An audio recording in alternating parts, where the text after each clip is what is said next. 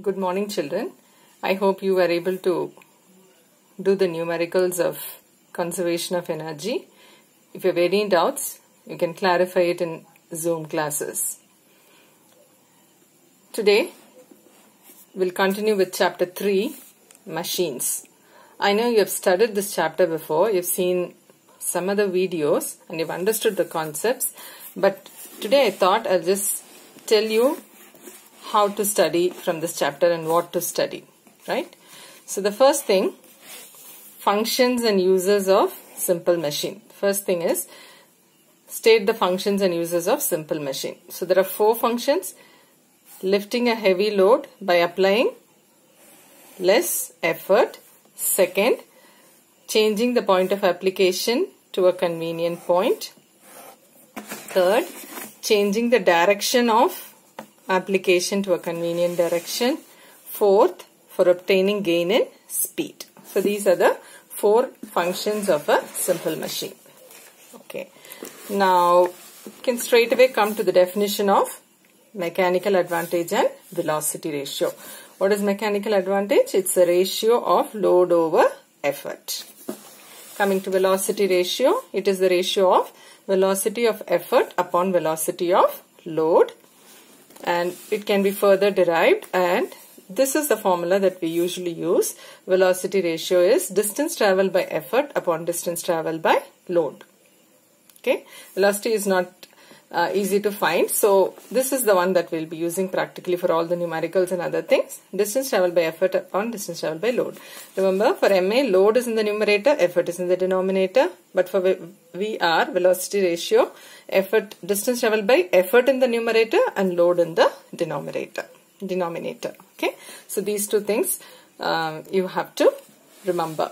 Then work input, work done on the machine by the effort. So always remember effort is input and load is the output. How much ever effort we are putting that is the input and load is the output. So work done by the work done by the effort is called work input. Work done by the effort is work input. And in the next page we have work output. So work done by the load is called as work output. The next term is efficiency. So efficiency will be output, work output upon work input. Efficiency is output upon input. Okay. So usually it is in percentage. So it will be work output upon work input into 100. And it has no units. Okay. The next is principle of a machine. Principle of machine. So output energy is equal to input energy but that's for an ideal machine. So what is the principle for an ideal machine? Output energy is equal to input energy. So what is an ideal machine? A machine in which there is no loss of energy which is not practically possible. Efficiency of an ideal machine is 100%. Coming to actual machine is the one in which output energy is always less than the input energy. There are some loss of energy during operation. Okay. Now, this is one question that comes often. Give three reasons for loss of energy in a machine. Okay. What are the three possible reasons due to which energy is lost in a machine? First one, moving parts are neither weightless nor smooth. Second, string is all three should come. Second, the string in it is not perfectly elastic. Third, its different parts are not perfectly rigid. Please memorize these three points. Then, next is relationship between efficiency, mechanical advantage and velocity ratio. So, sometimes this derivation also comes. So, I told you input will be effort. So, work input is effort into distance traveled by effort.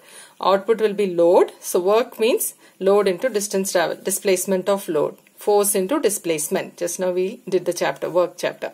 So work output is again force is load into displacement of load. So that is how you get and from this you get this relationship MA upon VR or efficiency is equal to MA upon VR or MA is equal to MA is equal to efficiency into VR. So this derivation also sometimes comes. So you should know this derivation also. Then coming to levers. So we are going to see two types of machines in this chapter. One is levers, the other one is a pulleys. Okay, so we'll start with levers now. So what is a lever? It's a rigid, rigid straight bar which is capable of turning about a fixed axis. So then principle of lever clockwise moment is equal to anti-clockwise moment. That is the principle. So load into load arm is equal to effort into effort arm. So from this you get this, that you get this formula that MA is equal to effort arm upon load arm. So only for levers this will apply that mechanical advantage is effort arm upon load arm because principle of moments can be applied only for levers. Okay. So um, if effort arm is greater than load arm, MA is equal to, if this is both are equal, MA will be equal to 1. If this is greater, MA will be greater than 1. If this is lesser than this, MA will be less than 1. Okay. Next is kinds of levers. Class 1, class 2, class 3. I'm sure you're familiar with all this. So, in class, for class 1 levers, MA can, and velocity ratio can have any value greater than 1, equal to 1 or less than 1. This is the only class in which all three possibilities are there. So then the examples, they'll give you an example and ask you to identify the lever or sometimes they ask you to draw the diagram and mark the position of load, effort and fulcrum. So at least a rough diagram you should be able to draw. So get used to it. Now, three different uh, MAs are there and three different applications are there. Okay. So,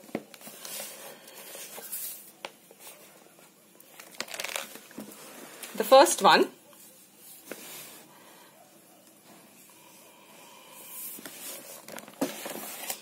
when the effort arm is longer than the load arm mechanical advantage and velocity ratio is greater than 1 then it is used as force multiplier the question can be when can a class 1 lever be used as a force multiplier when effort arm is longer than a than the load arm and examples could be crowbar, claw hammer, pliers etc.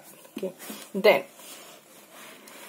if both are of equal length then both its MA and VR are equal. Generally this is used for measuring or for entertainment like a seesaw and all that doesn't have much specific application as a machine. Okay. Come to this when effort arm shorter than the load arm MA and velocity ratio is less than 1, then it is used to obtain gain in speed. This is, so when will it have its MA less than an 1 and what is its application of how, where is it used? It is used as gain in speed. Now you hope you understand this term gain in force and gain in speed. Gain in force means you apply less force and more work is done. Gain in speed means you apply means or you move the effort through a less distance, load moves through a longer distance. For example, take a pair of scissor. So in case of a scissor, so suppose um, this is our scissor. Now this is not this is not how it looks. Usually this fulcrum is somewhere here okay somewhere here normally in a scissor if you the scissor that is used for cutting papers and all the fulcrum will be here so that so here will be a load. You'll keep your paper or thing here. So that is load and this is effort. You'll be holding here. So this is your load arm and this is your effort arm. So purposely the effort arm is the load arm is made longer than the effort arm so that what will happen to your MA? MA will be effort arm upon load arm and because this is this is smaller and this is larger this will be less than 1. Same way VR will also be less than 1. Now I will be moving the um, this is a only this much okay these I'll just bring them together I will move the effort only this much, but the load would have moved this much. In the sense, it will cut your paper or cloth for a longer distance. You would have moved this only for a less distance, but it would have cut the paper or cloth for a longer distance. So this is this is example for force multiplier. Okay, you move the effort through less distance, but the load moves through a longer distance. Okay, now this is scissor. There's another one called pliers. In your diagram itself, in your examples, there are two things. So one is a scissor.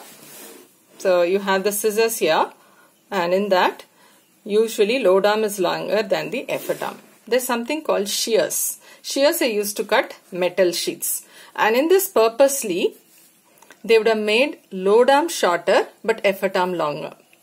Okay, the fulcrum will be towards the load side. So effort arm will be effort arm will be longer than the load arm. So what will happen to your mechanical advantage? So these are not pliers, sorry, shears. These are called shears for cutting metals.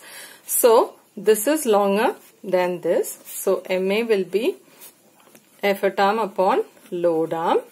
So because this is longer, effort arm is longer than the load arm. So MA will be greater than 1. So it will be used as a force multiplier. Okay. Whereas this is designed in such a way that it is used as speed multiplier.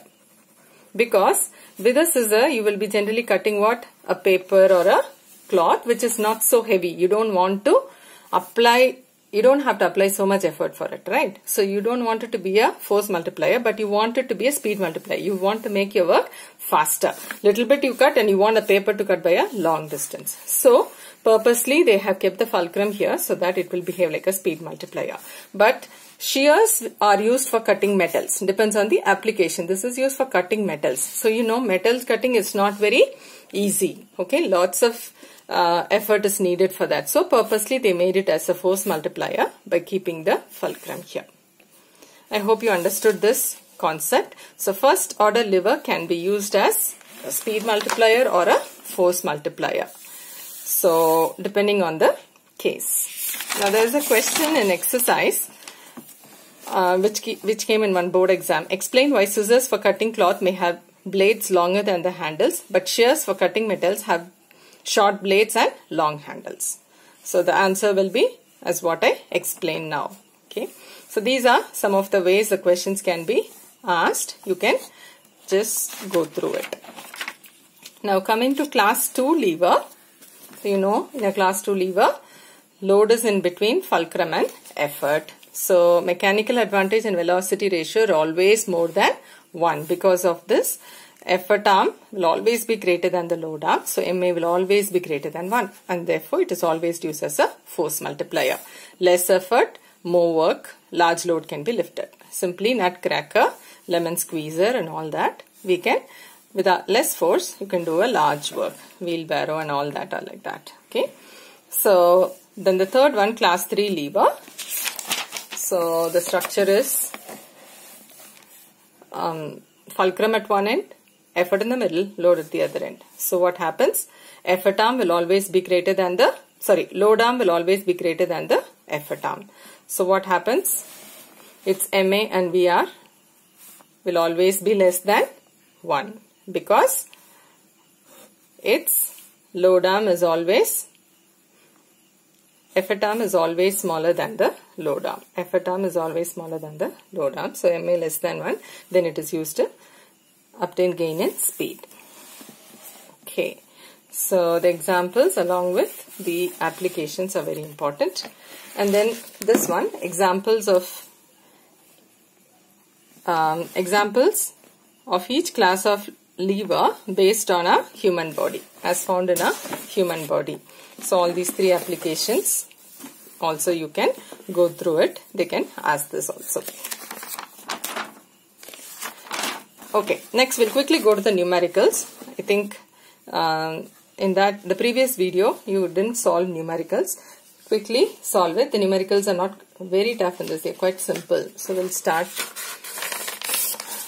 Down to page 59 and question number 5. A man uses a crowbar of length 1.5 meter to raise a load of 75 kgf by putting a sharp edge below the bar at a distance 1 meter from his hand. So first of all you should know how does a crowbar look and what kind of lever it is.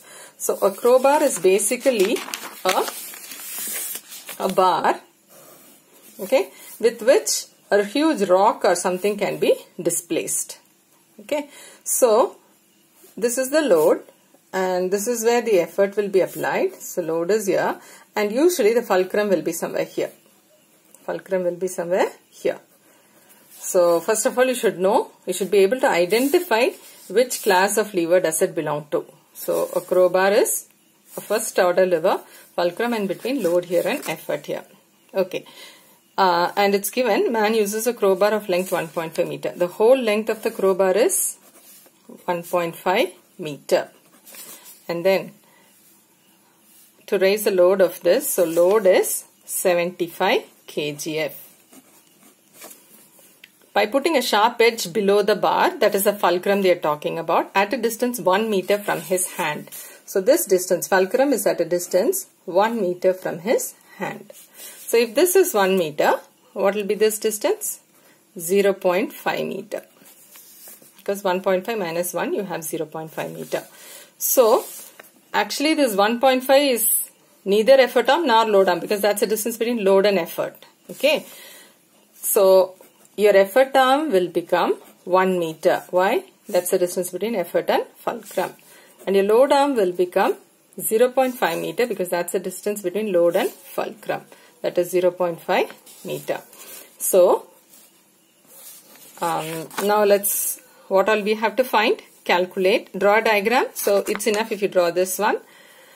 Second, B part, state the kind of lever, first order lever. Calculate load arm, effort arm. So, effort arm and load arm. And then MAN, effort needed. So, we have to find the mechanical advantage. Mechanical advantage will be effort arm upon load arm. So 1 by 0.5. So that will you'll get 2 as the answer. No unit. Remember that. And then um, you have to find okay um, effort. Okay, effort is the question mark. So always you should apply principle of levers. That is load into load arm equal to effort into effort arm. So effort we don't know. Rest all we know. So our load is 75 kgf. You don't have to convert it into Newton or anything. Keep it as kgf. And the answer you're getting also will be in kgf. Load arm.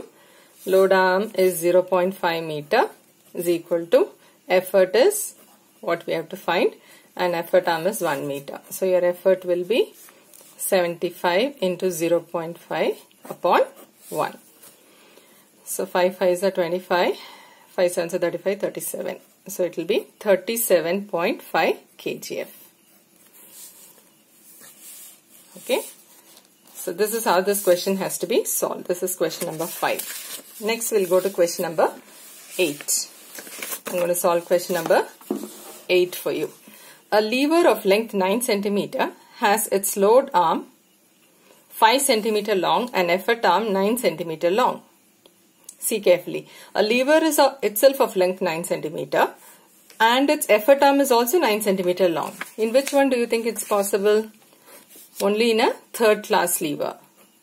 Because only in a third class lever, fulcrum will be at one end and load will be at the other end. Sorry, load will be at the other end and effort will be in the middle. Effort will be in the middle. So, the length of this lever is 9 centimeter. So the whole length is 9 centimeter. And that is the load arm also. I'm sorry.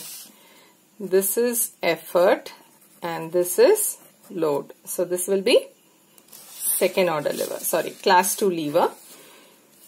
So 9 centimeter is the total length and effort arm is also 9 centimeter. Means effort will come to this end. So that means load will be in the middle. So this is a second class lever. Then load arm 5 centimeter. Distance between fulcrum and load is 5 centimeter. This is the diagram. What C part? What is the mechanical advantage and velocity ratio if the efficiency is 100%? So first let's find MA, effort arm upon load arm. So what is your effort arm? Effort arm is 9 centimeter and load arm is 5 centimeter. So 9 by 5 that is 1.8. So MA is 1.8. Then velocity ratio.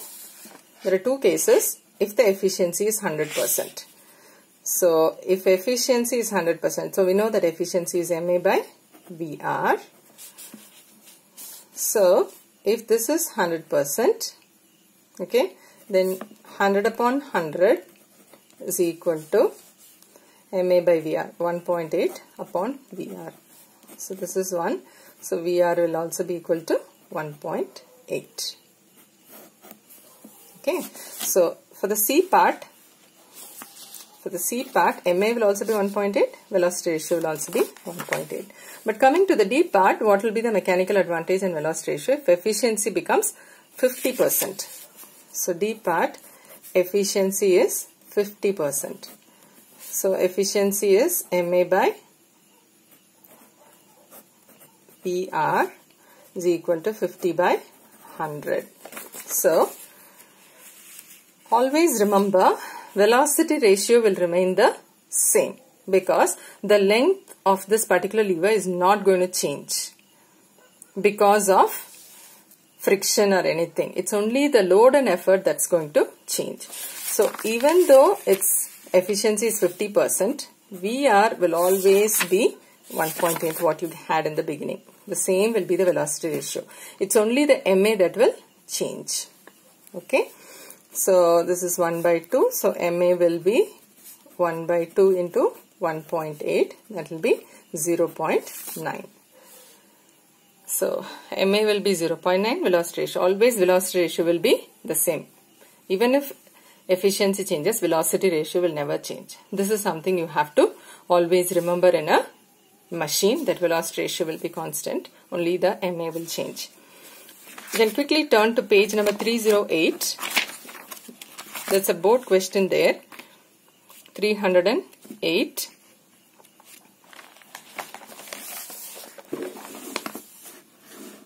This is actually, page number might be slightly different children. It is paper 2016 solved. Okay. The first question C part with reference to a mechanical advantage, velocity, efficiency. Name and define the term that will not change by a mesh for a machine of a given design. See the answer, velocity ratio will not change. Efficiency and MA can change, but velocity ratio will never change for a machine. And then you have to define it. Define as ratio of distance traveled by effort to the distance traveled by load in the same interval of time. So, this was one of the questions. So, velocity ratio never changes is a very important concept.